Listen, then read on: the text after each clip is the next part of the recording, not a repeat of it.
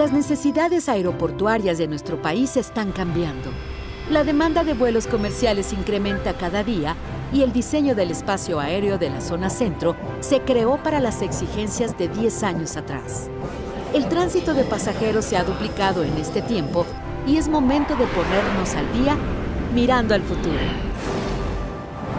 La incorporación del Aeropuerto Internacional de Santa Lucía al sistema aeroportuario metropolitano, formado por la Ciudad de México y Toluca, nos impulsa a dar ese salto hacia adelante en el diseño del espacio aéreo, llevándolo a la cima.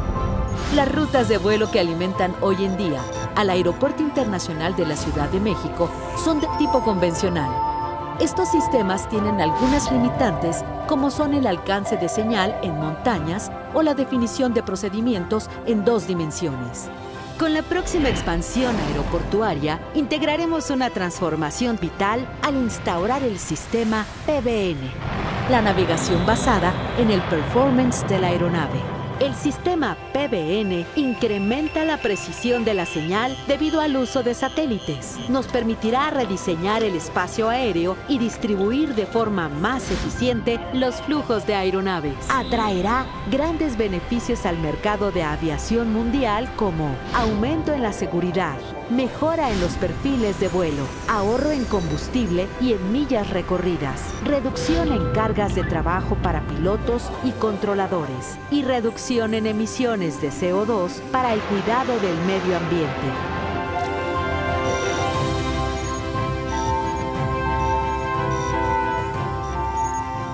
Estableceremos puntos de entrada para el arribo de aviones dependiendo de su procedencia Luego las naves entrarán en rutas o canales exclusivos que los llevarán hacia el aeropuerto de su destino.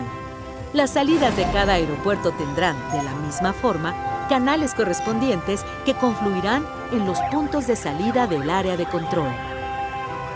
Gracias a estas vías de tránsito, los aviones podrán tener, de forma organizada, una ruta preestablecida para llegar a su destino.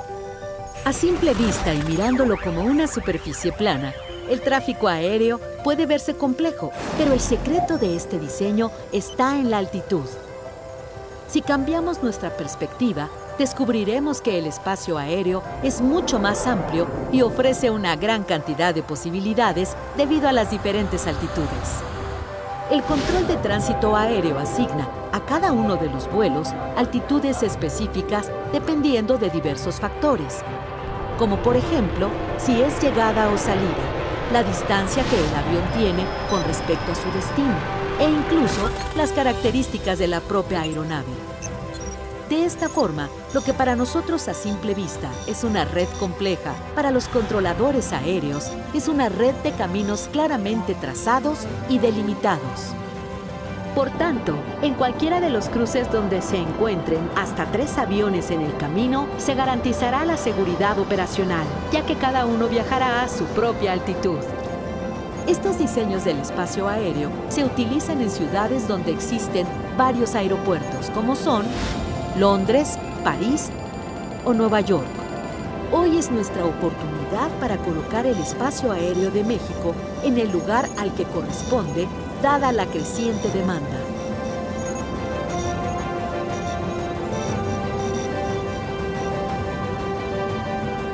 Con la incorporación del sistema aeroportuario metropolitano, que incluye los aeropuertos internacionales de Santa Lucía, Toluca y Ciudad de México, haremos la transformación vital de la estructura del espacio aéreo en la Secretaría de Comunicaciones y Transportes estamos listos para la transformación del control aéreo, con un diseño que funcione a su máxima capacidad y cubra las necesidades del futuro. Gobierno de México.